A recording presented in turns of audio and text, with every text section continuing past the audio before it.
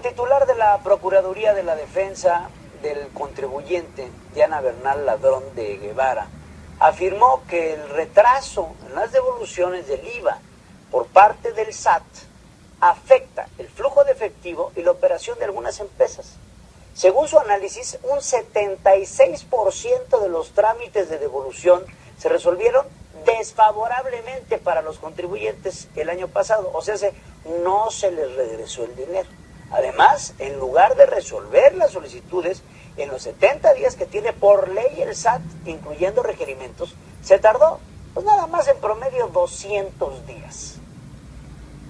Para ampliar la información, me da gusto saludar a Edson Uribe Guerrero, su procurador general de la Procuraduría de la Defensa del Contribuyente, y te saludo con mucho gusto, Edson. ¿Qué tal, Pedro? Muy buenas noches, encantado de saludarte. Este tema del retorno del IVA es un tema que está empezando a levantar algunas suspicacias.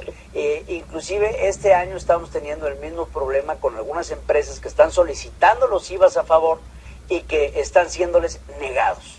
Edson, eh, cuéntanos por favor. Mira, Pedro, una de las facultades de la Procuraduría de la Defensa del Contribuyente como observador de derechos fundamentales pues es eh, aquellas malas prácticas que llevan a cabo las autoridades fiscales en perjuicio de los contribuyentes.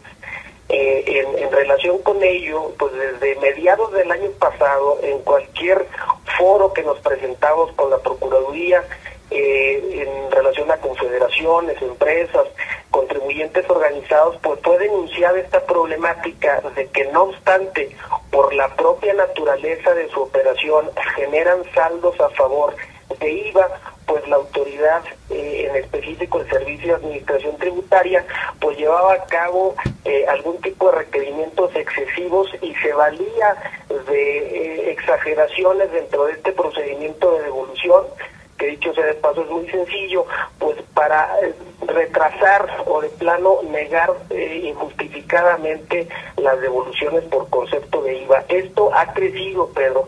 Esto ha sido un reclamo que inclusive confederaciones, cámaras tan importantes como Canacintra, el propio Consejo Coordinador Empresarial, con Camín, Index, la industria maquiladora sí, todos, todos han señalado. Ahora, Edson, una pregunta. Estos IVAs no retornados, se han tomado como ingreso?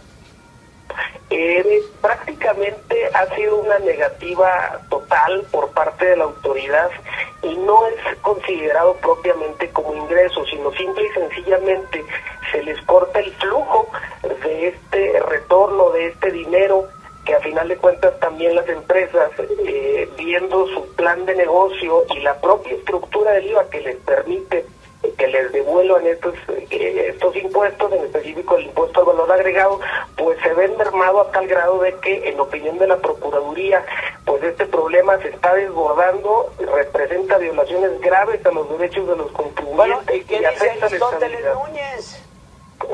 ¿Qué dice Aristóteles? Pues él es el director del SAT.